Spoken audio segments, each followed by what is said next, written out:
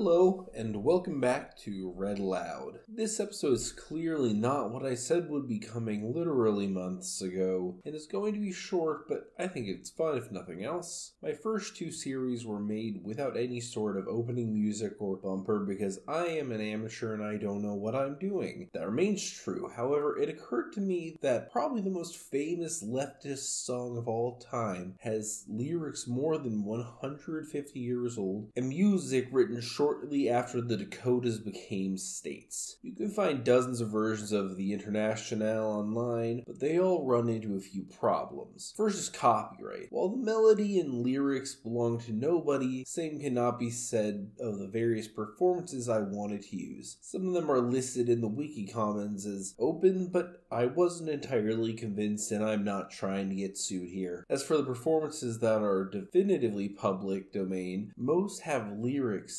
included. These are often great performances, but most originated somewhere in the USSR, and I don't want to give this show too strong of a Soviet flavor. Ideally, I would have liked to use Billy Bragg's adaptation, but that seemed like a stretch to even justify asking. So I made a version myself on GarageBand because no one could stop. After hearing the results, you might wish someone had stopped me, because again, I know nothing about music production and it is very obvious. However, if anyone wants to help me make a better version, please reach out. The poem I am going to be reading today was originally written by Eugene Pottier in June 1871. The melody I used was written by Pierre de Geyter in 1889, but as I am focusing on the poem here, I will also be focusing on Pottier with apologies to any francophones. Eugene Pottier was born in 1816 and eventually became a member of the Paris Municipal Committee, also known as the Commune. In a remarkable display of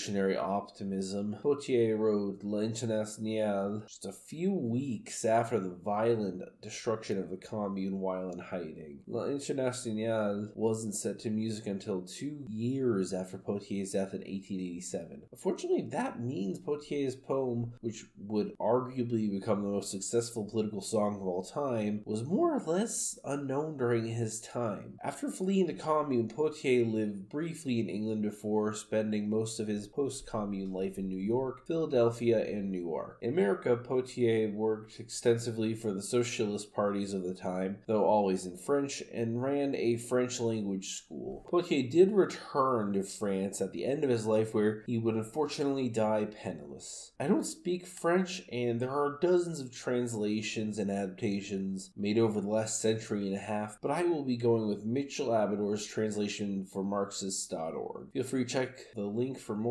versions. With that, here we go. The Internationale by Eugene Pottier.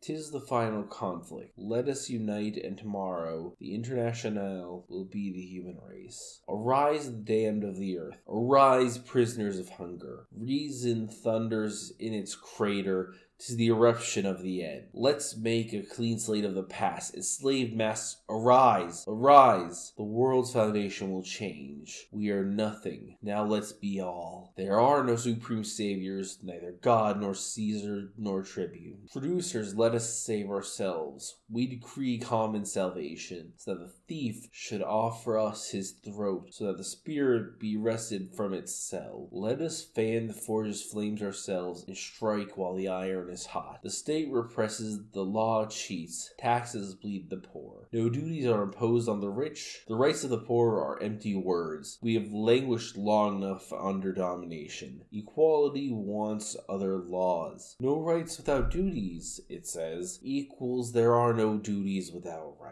Hideous in their apotheosis, the kings of mines and rails. Have they ever done aught but rob from labor? In the safes of that gang, what is created is smelted. By decree that they turn it over, the people only want what is their due. Kings intoxicated us with smoke. Peace among us, war on tyrants. Let's apply the strike to armies. Rifle what's raised on high and breaking ranks. And if they assist those cannibals on making heroes of us, they'll soon learn that our bullets are for our own generals. Workers, farmers, we are the great party of the work. The earth belongs only to men. Idlers can go someplace else. How many on our flesh can eat their fill? But if the ravens, the vultures, one morning disappeared, the sun would shine still. Tis the final conflict. Let us unite, and tomorrow the Internationale will be the human race.